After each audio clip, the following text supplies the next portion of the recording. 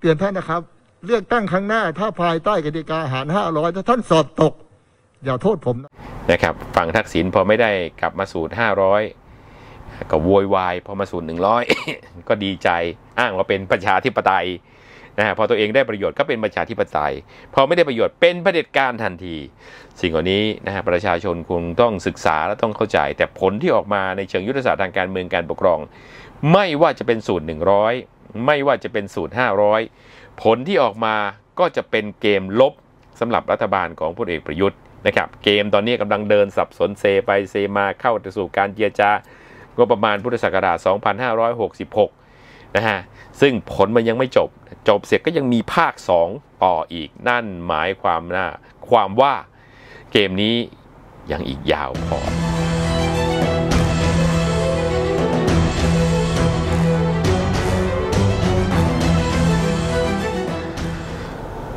สวัสดีครับ มาพบกับผมเทิดศักดิ์เจียมกิจวัฒนาครับ วันนี้ก็สวัสดีหุ้นส่วนฮะที่รับชมทุกแพลตฟอร์มของสำนักข่าววิหกนิวส์นะครับ วันนี้ประเด็นที่น่าสนใจ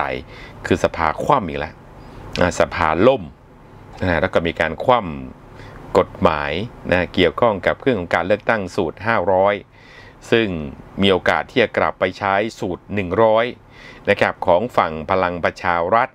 ไปดูในเชิงปรากฏการณ์ก่อนนะ แล้วเข้าสู่กระบวนการวิเคราะห์ แล้วเข้าสู่กระบวนการสังเคราะห์กัน เรา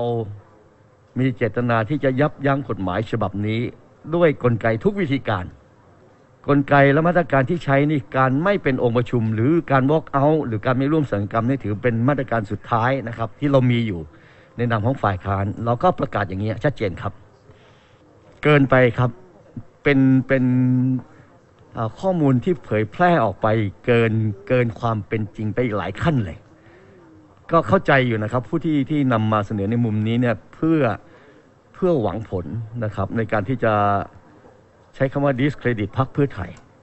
แล้วก็ได้ประโยชน์ทางการเมืองกับซีกเขา และเป็นการทำลายความชอบธรรมคือกลไกที่เพื่อไทยใช้เนี่ยขณะนี้เริ่มเป็นที่ยอมรับนะครับ ในการยับยั้งกฎหมายจากเสียงข้างมากที่เป็นเผด็จการเนี่ยกลไกนี้เริ่มยอมรับ อประชาชนเริ่มยอมรับปุ๊บก็ปล่อยเรื่องการดีลลับระหว่างพลังประชารัฐเพื่อมาทำลาย เพราะฉะนั้นผมปฏิเสธนะครับว่าเราไม่เคยมี ในการที่จะไปจับมือกับพรรคพลังประชารัฐ หรือจับมือกับพรรคใด ๆ นะครับ โดยเฉพาะไปจับมือเพื่อผลักดันคำถามสุดท้ายว่า ให้บิ๊กป้อมไปเป็น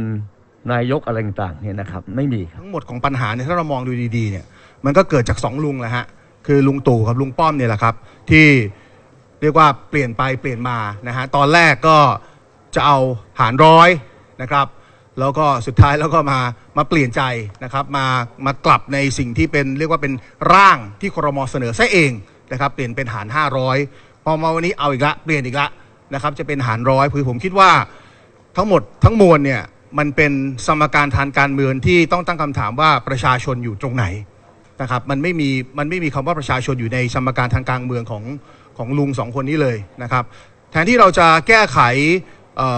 ระบบเลือกตั้งนะครับเพื่อให้มันเป็นการแก้โจทย์การเมืองของประเทศนะครับหรือแก้ไขระบบเลือกตั้งเพื่อให้มันได้จำนวนสสในสภาที่สะท้อนเสียงของวอเตอร์ หรือพี่น้องประชาชนที่มาใช้สิทธิ์เนี่ยได้มากที่สุดใกล้เคียงที่สุดเนี่ยมันกลับไม่เป็นแบบนั้นนะครับมันกลับเป็นการแก้ระบบเลือกตั้งหรือกติกาต่างๆ เพื่อ ให้ตนเองสามารถที่จะกลับมาเข้าสู่อำนาจได้นะครับ เพื่ออให้มั่นใจว่าจะได้ได้เปรียบทางการเมืองหรืออะไรบางอย่างนะครับ เหตุการณ์หลาย ๆ เหตุการณ์นะครับที่ผ่านมาทำให้สื่อทำให้หลายคนคิดว่าพลเอกประวิตยอยู่เบื้องหลังเกมล้ม 500 ในครั้งนี้ แล้วท่านเองก็ได้ถแถลงเมื่อวานแล้วว่า ท่านไม่รู้ท่านไม่เห็น ท่านไม่ได้เกี่ยวข้อง ท่านไม่ได้บอกใคร ผมก็ได้แถลงว่าท่านจะต้องพิสูจน์ว่าท่านไม่ได้รู้เห็นจริง ๆ โดยบอกให้พลังประชารัฐบอกให้สวสายท่านเข้าร่วมประชุมนะครับ วันนี้ในการขานชื่อองค์ประชุม ประธานวิปไม่ร่วมการขานทั้งทั้งที่อยู่ ทีมวิปพลังประชารัฐไม่ขานชื่อ ต้องตอบคำถามสังคมเองครับนะครับ ผมก็หวังว่า ท่านอย่าฟังคนใกล้ชิด หรือผมยังเชื่อว่าพลเอกประวิตยไม่ได้เกี่ยวข้องนะครับ แต่คนใกล้ชิดเนี่ยมาอ้างชื่อท่านหรือไม่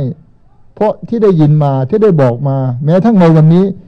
ก็ล้วนบอกว่านายสั่งครับ เพราะฉะนั้นอันนี้พลเอกประวิตยต้องตอบคำถาม ซึ่งจะพิสูจน์ได้ว่าหนึ่งไม่ต้องตอบคำถามก็ได้ แต่สั่งให้ว่าถ้าท่านชวนเรียกประชุมคราวหน้า สวกับสสพลังประชารัฐต้องพรึบ นะครับ จะโหวตร้อยก็ไม่ว่าโหวตห้าร้อยก็ว่า แต่อย่าให้องค์ประชุมล่มแบบนี้ ผมขอเตือนท่านนะครับ เลือกตั้งครั้งหน้า ถ้าภายใต้กติกาหารห้าร้อยถ้าท่านสอบตก อย่าโทษผมนะครับ ก็ผมประชุมประชุมอยู่แล้วไม่ได้ตามอะก็แล้วแต่ว่าไงอะเอาไปไหนลงอะในเชิงปรากฏการณ์เราคงเห็นว่าพักเพื่อไทยนะฮะโดยเฉพาะอ่าหมอชรนาท นะครับก็ทำทุกวิธีทางขึ้นปุ๊บก็จะนับองค์ประชุมไส้ซัดกันแล้วนะแต่คุณชวนหลีกภัยก็ขวางไว้สุดท้ายคุณชวนก็บอกว่าจะให้นับองค์ประชุมเรื่อยๆ จนกว่าจะเป็นที่พอใจสุดท้ายก็นับองค์ประชุมไม่ครบนะฮะซึ่งการประชุมครั้งนี้ก็มีเจตนาวางไว้ในวันกำนันผู้ใหญ่บ้านนะครับและเป็นวันรัฐประหารเปลี่ยนแปลงการปกครอง วัน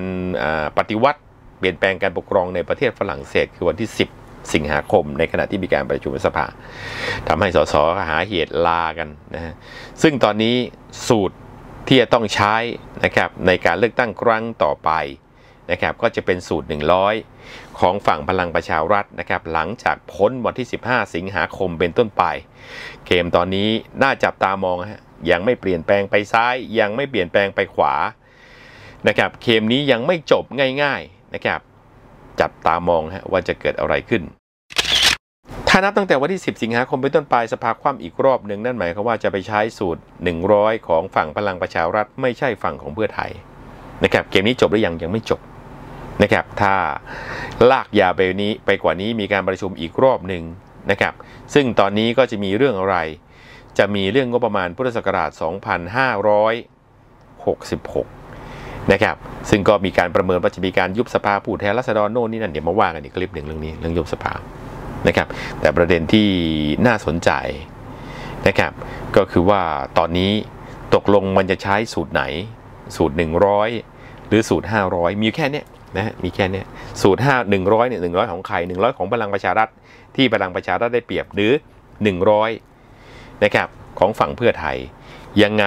ถ้าไม่ใช้สูตร500นะครับก็ต้องไปสูตร 100 ของพลังประชารัฐนะครับเกมนี้จบหรือยังยังไม่จบนะครับถามหุ้นส่วนว่ามันจะเป็นยังไงเรื่องนี้ใครได้ประโยชน์ ผมเรียนหุ้นส่วนนะมันไม่ได้ประชาชนไม่ได้ประโยชน์นะเป็นเรื่องของพรรคการเมืองที่แย่งกันไปแย่งกันมา พลังประชารัฐก็เจตนาให้ล่มก็อยากไปใช้สูตรของตัวเองที่ตัวเองได้เปรียบนะครับซึ่งไม่มีพรรคเล็กนะครับฝั่งเพื่อไทยก็หวังว่าจะไปใช้สูตร 100 แล้วจะมาแก้อีกรอบ เพื่อให้ฝั่งตัวเองได้เปรียบ นี่คือสิ่งที่กำลังเกิดขึ้นนะครับแต่อย่างไรก็ตามประชาชนไม่ได้ประโยชน์ ถามว่าเกมนี้ไม่ว่าจะเป็นสูตร 100 ไม่ว่าจะเป็นสูตร 500 อย่างที่ผมเรียนไว้ยังไงมันเป็นนกาทีฟสำเกมสำหรับใครรัฐบาลของพลเอกประยุทธ์นะครับเพราะตั้งแต่แรกไม่ควรแก้ไขรัมนูญมาตั้งแต่แรกแล้ว แต่ยืนยันจะแก้ไขรัมนูญมาสูตรนี้จะดีเอาเอผมยืนยันว่ามันจะเป็นนกาทีฟสำเกมผลที่ออกมามันจะมีปัญหาตามมา และเกิดความขัดแย้งเพิ่มขึ้นเรื่อยๆ นะครับรัฐบาลไม่ปรับคำตรีคะแนนนิยมก็จะต่ำลงต่ำลงต่ำลงนะครับตอนนี้เป็นยังไงนะฮะสภาคว่ำไปแล้ว แบบนี้ผลจะออกมาเป็นยังไงนะผลจะออกมาเป็นยังไง ไม่ว่าจะเป็นสูตรร้อยของพลังประชารัฐ ผมย้ำอีกครั้งนะหรือสูตรห้าร้อยผลที่ออกมาก็จะเป็นนกาทีฟสามเกมนะครับเกมยังไงก็ไม่เป็นเกมบวกนะครับฝั่งทักษิณพอไม่ได้กลับมาสูตรห้าร้อย ก็โวยวายพอมาสูตรหนึ่งร้อยก็ดีใจอ้างว่าเป็นประชาธิปไตยนะฮะพอตัวเองได้ประโยชน์ก็เป็นประชาธิปไตย พอไม่ได้ประโยชน์เป็นเผด็จการทันที สิ่งเหล่านี้นะฮะประชาชนคงต้องศึกษาและต้องเข้าใจ แต่ผลที่ออกมาในเชิงยุทธศาสตร์ทางการเมืองการปกครอง ไม่ว่าจะเป็นสูตร 100 ไม่ว่าจะเป็นสูตร 500 ผลที่ออกมาก็จะเป็นเกมลบสำหรับรัฐบาลของพลเอกประยุทธ์นะครับเกมตอนนี้กำลังเดินสับสนเซไปเซมาเข้าสู่การเจรจา ก็ประมาณพุทธศักราช 2566 นะฮะ ซึ่งผลมันยังไม่จบ จบเสร็จก็ยังมีภาค 2 ต่ออีก นั่นหมายความนะความว่าเกมนี้ยังอีกยาวพอสมควร ขอบคุณที่บอกต่อ ขอบคุณที่แชร์ต่อ ขอบคุณที่เล่าต่อ ขอบคุณที่ร่วมสนับสนุนสถานี ขอบคุณที่ร่วมกันทำความดีเพื่อความดี ผมเทิดศักดิ์จิมกิจวัฒนา สวัสดีครับ อย่าลืมกด subscribe และกดกระดิ่งด้วยนะคะ